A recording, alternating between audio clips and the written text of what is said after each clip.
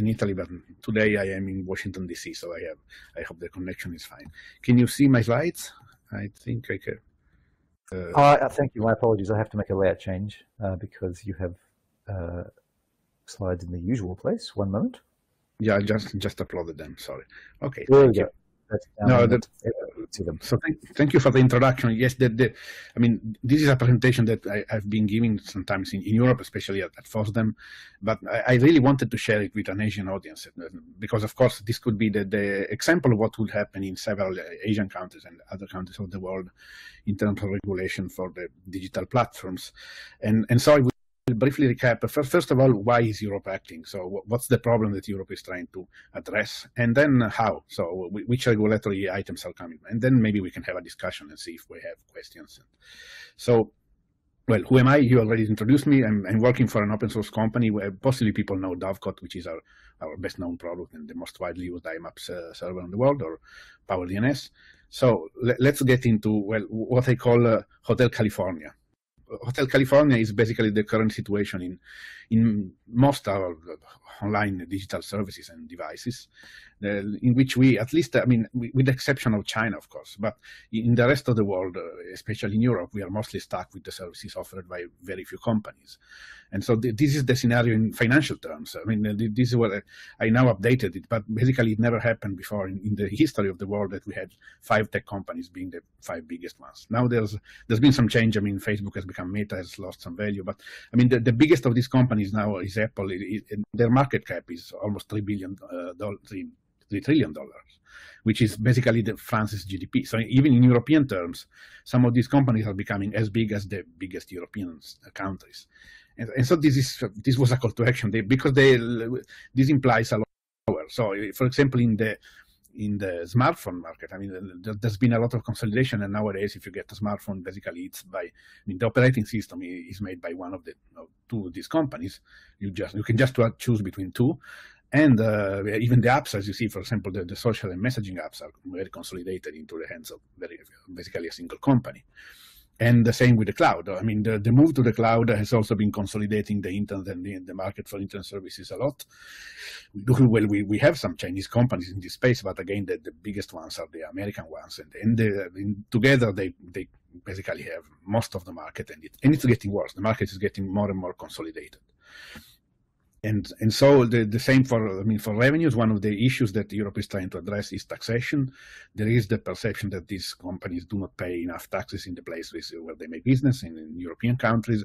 And in, in, fact, I mean this was analysis that was made on Google revenues, but you could do the same with other companies. I mean, these companies tend to I mean invoice your revenues from a different country and then move the basically the, the, the biggest chunk of the invoices into international uh, places, sometimes tax havens, sometimes simply their, their home country. And so what gets taxed in, in local countries is really a, a limited amount.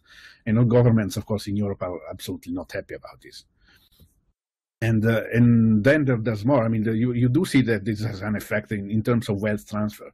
So there is a general concern that uh, the, the, digital market is now basically a way to transfer uh, wealth out of Europe into well, in this case the U.S., but could be China. We, I mean, but in general, countries that are outside of the uh, of Europe. And so there, there is a concern. I mean, how can we keep this wealth here, keep the wealth local, keep the growth local, the jobs, and make it so that we can, uh, as Europeans, we can use more and more European services. Not because we, I mean, we don't, we dislike the Americans, but but because we need to grow our own internet market and, and services. And so you see, you see this transfer wealth. I mean, this is uh, one possible anecdotal indicator, but you see the value of, of houses going up in, I mean, by 2.5 times in seven years in San Francisco. It's really a sign of, of movement of, of wealth across the planet. So this is what what I, I call as I mean, Hotel California, because these are services where you can check out anytime you like, but you can never leave. So these are services in which you get into the services, you start using whatever, WhatsApp, uh, Google, one of the Google services, uh, whatever.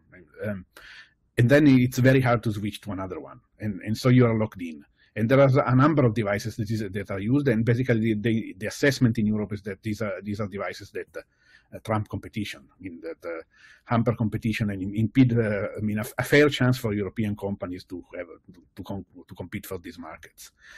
And there are uh, several ways to show this, but the example I like to make is the, the, comparison between the original internet services like email or the web and the most current services. I mean, so email, for example, is an, a fully compatible interoperable service, which means that you can get your, your email address from and your email service from any provider, and you will, and you will be able to exchange email with any other user of any other provider anywhere in the world.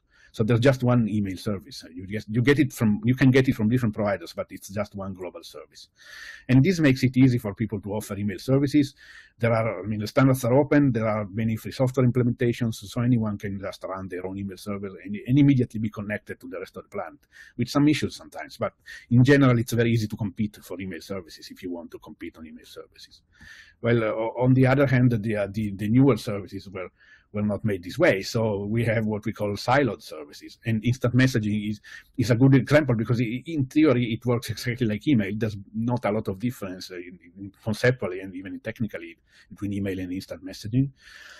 But uh, the, the, the, way the market has developed is very different because the, here in more recent times where venture capitalists and dreams to conquer the world were involved. I mean, the, these services were developed as walled gardens.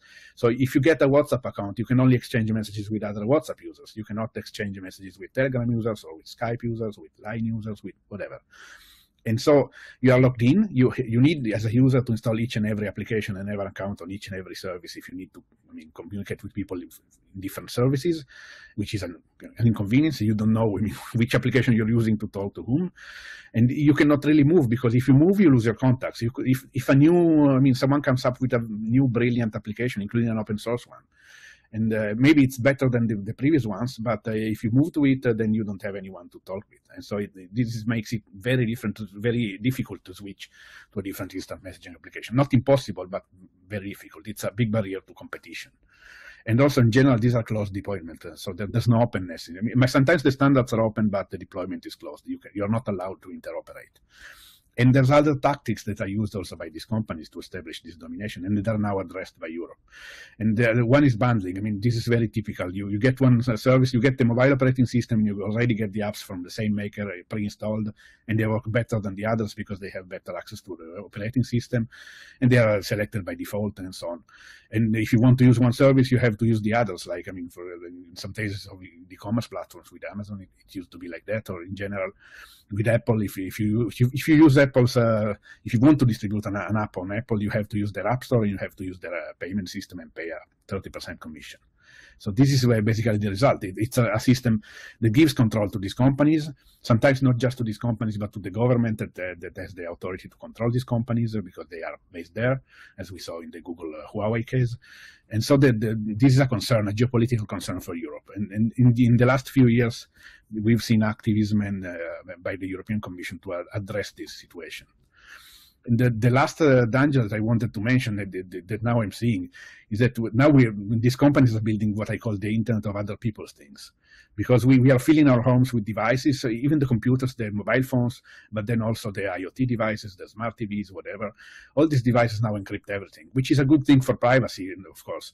But uh, it means that you as a user don't know what's going on. You, you don't, do not have any way to control the flow of traffic, which starts from one of these devices or from one of the apps on your mobile phone and goes directly to the cloud, to the server of the, of the maker and uh, so, I mean, you, you have to trust these companies. They could gather any data on you. They could actually spy on you if, if they wanted. Uh, and, and, there's no way you can check, evaluate, or stop this. So encryption is being used to, as a form of control, to move points of control, traditional ones from the ISPs, uh, the governments that use to block stuff and whatever. Maybe it's better if we, they don't do it. But on the other hand, now control is fully into the hands of the makers of, of these devices and services. And so this is also a, a, a big concern now. And uh, so, in, in, general, this is not a problem just about money and competition. It's much more than that. And So, the, the, the concern about the big platforms is also about uh, other things which are not related to making money or taxation or so. And it's really about surveillance and privacy, as was saying. It's about political power.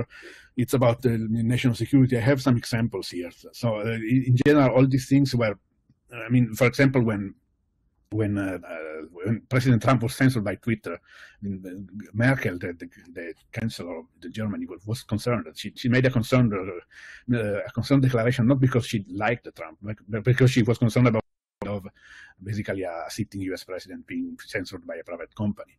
So this kind of struggle of power is, is what also concerns uh, the Europeans. And, and there's all the discussion, for example, about the the, the U.S. Um, uh, Cloud Act, which allows U.S. companies to access the information of private citizens anywhere in the world.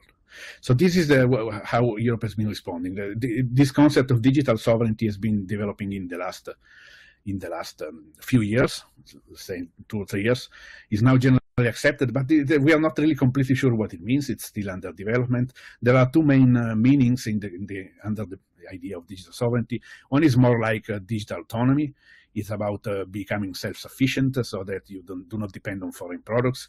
Whatever may happen in the future, any kind of geopolitical tension or even commercial tension, or even just one of these companies deciding that they don't want to make business in, in Europe anymore for whatever reason, you must be able to survive. So even if, if tomorrow Google became unavailable, Europe cannot stop. The economy, the society cannot stop. And so you need to have alternatives.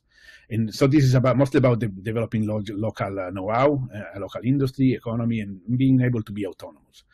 Another part of this concept is really about sovereignty. Uh, the, I mean, the, the, autonomy one is more German, the sovereignty one is more French. The, the sovereignty part is about uh, enforcing rules for internet services. So being able to basically tell these companies what they have to do in a number of uh, public policy relevant issues, uh, like content moderation or whatever. I mean, um, so of course there's also taxation, but in general it's about uh, ensuring that you as a country have control over the use of the internet by your citizens and in your internet market. And together these two, these two sides form the European digital sovereignty concept. And so, uh, where open source is into this, I mean, uh, open source is actually the subject of a lot of promotion, at least in words, not always in facts. But in Europe, uh, in the last few years, we've seen multiplying calls for adopting open source, promoting open source, and uh, public procurement, and so on. And this is because this is really interesting. I think it's also interesting for several parts of Asia that the open source model is much better and much more fitted to, for Europe than the, the, American or Chinese model of a, a, few very big companies. Europe does not produce very big companies because Europe it is, a, is an archipelago of countries. We have uh, 27 countries in the European Union, 26 languages and societies and markets. Yes, this is about the European Union because we're talking about European Union regulation. So, um, so that's the, um, then uh, so basically the, the, if you want to have uh, this kind of uh, services in Europe, you will get uh, alliances of small companies, mostly open source companies often. In each country, you will have a company and they will exchange services and help. And even relatively bigger companies. My company is German and has 250 people, which for Europe is a pretty big internet company, at least in the software sphere. But we do, when we have to go to other European states, to some of these states, we, we employ local partners. And so that we have a, co a cooperation with local companies and um, and so in the end, uh, the, this, this, is why it, I mean open source is also useful to this concept of digital sovereignty. So what we need to get out of this, it's um, it's what I call regulated openness. So we're trying to establish a, a, mechanism of cooperation between the European institutions and the open source uh, world, industry, so that uh, the, the, open source, the open standards uh, provide the technical building blocks that are necessary for competing services to these ones. And we need the regulation to force them onto that, because the problem is that the dominant platforms, they, they have dominant market positions, they will never open up if they are not forced. And so this is why we need regulation. The, the regulation in Europe will be aimed at forcing these companies to open up services to competition. So not, uh, not to disadvantage them, but to prevent them from unduly advantage. And so this is the list of all the regulations, many of the regulations that the Internet, Europe is working on, because there are really many, many. So the, the first one is the Digital Services Act, which is about content. I will come to this in, in a minute. And the second one, maybe the most important one, is the Digital Markets Act, and I will also come to this uh, a little later. But this is about competition. But there are more. I mean, now there's discussion starting on a Data Act, which means, I mean, uh, setting rules so that the public data that these companies gather through their platforms uh, can be shared, uh, can be accessed for public uh, policy objectives. And so this will come out. That there's a, now a computer chips act because somehow Europe has decided we need some, at least a bit of computer chip factories back on our territory. There are some. I mean, but of course, as we know, most of the chips are now produced in, in three Asian countries. And uh, so in any want to be able to produce chips uh, locally because in, during the COVID crisis, there was, I mean, uh, the car factory stopped because there were no chips, and this is not something we want to see again. There's um, uh, a minimum corporate tax. So there's an effort to establish a, a minimum tax everywhere uh, in Europe so that uh, companies are not uh, enticed into moving into specific states that will let them pay few taxes. There's a EIDAS, which EIDAS is the European Identity Project, and so we're trying to offer open identities to European uh, citizens. There's Gaia X, which is a, a, funny project. I mean, hard to describe. Basically, it's a sort of private consortium blessed by the European Commission that is trying to establish common data, for example, common ontologies. If, if you want to cooperate among different companies in the car sector, for example, you need to have common ontologies to, to understand each other's data. So this is the, the work that, that they are doing. So there's a lot of work going on. And as I was saying, I, I would focus on, well, on the Digital Services Act, which is, I mean, in, in basically it's the it's a, the, the old e-commerce directive. Uh, all over the world has this kind of laws that uh, establish that intermediaries have a, a, limited liability. They are not fully responsible for the content, for example, that they get from users and publish, because otherwise it would be impossible to have user-generated content. But now, I mean, the, this concept is being a little eroded. There's, especially for the so-called very large online platforms like Facebook, of course um, that there will be strong transparency, accountability requirements, and there will be, I mean, uh, attempts to ensure that they do not close accounts unduly or, or not close accounts when they, it's necessary. So this kind of guarantees around content, which is now very important in Europe because there is a lot of sensitivity about uh, political propaganda, especially by foreign countries, especially foreign countries in which there's a war, and and so there's uh, there are attempts to make sure that there's a way to control the content which is flowing on, which is maybe not the, the, the best of free expression idea idea, but, uh, but it is deemed necessary in this environment. So let's come to the Digital Markets Act, which is the most recent one.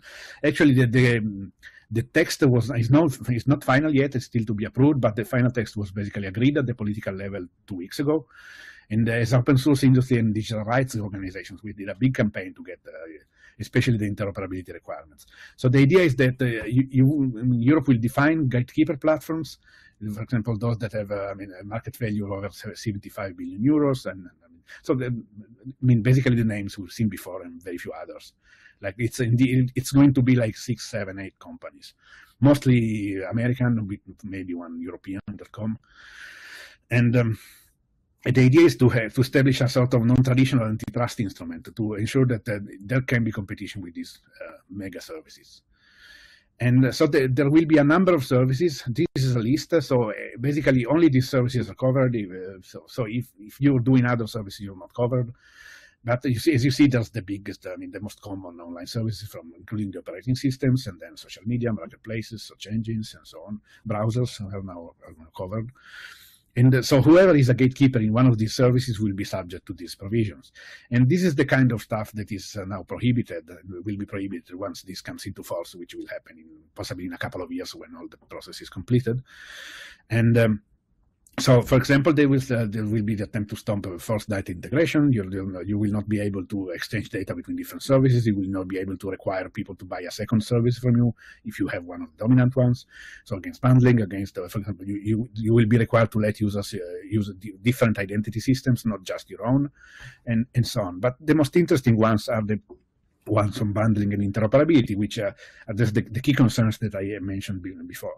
So the idea is basically, well, in terms of bundling, that uh, I mean, we still have to see the final text, but this more or less should be there. That, that there will be the, the uh, prohibition basically to force users to use multiple services. So you have you have you as a business user have to be able to use, for example, Amazon's marketplace without being forced to use Amazon's uh, delivery service, and so on. So this kind of bundling will be prohibited. And in terms of a software, when when you install a, a mobile phone, you, you will have to be asked uh, which search engine you want to use, which email application, and so on. There's uh, so the, the, idea is that you will favor the, the choice of different apps by not uh, make not allowing a, a default. And then there's the interoperability clauses. Unfortunately, we lost the interoperability for social media, for the, exactly for the concerns in terms of content control that I mentioned before. But we, we got the interoperability for instant messages. So, so WhatsApp and other dominant messengers will be required to open up interfaces and allow at least third parties to interact with an API and exchange messages and so on. And then there's uh, also the same for auxiliary services, so, so stuff like identification, payments, you, you will be required, I mean, they will be required to let you use different login systems, different payment systems, and so on. And this was a, a great victory. It took a lot of effort by the European open source community, but apparently we got there. We still have to see the final text. So, sorry. Why is interoperability so important? Because uh, interoperability allows competition. So the, if, if the original internet services are competitive because they are based on interoperability and modularity, so you can separate different services and you can replace in individual blocks. And so you can, as a company, as a startup, as an individual, an open source project, you can make a, a new, for example, block of identity, and, and, then you plug into the in place of the dominant one. And this enables competition. And so this is why we, we are aiming to get into a system of interoperable apps in which you just have one, you pick the one which is best for you, so there's competition, maybe one which is more privacy friendly and is not spying on you, and you're able to communicate with all the other users. So thank you. This is the end of the presentation, and I'm happy to take uh, comments, questions, and whatever.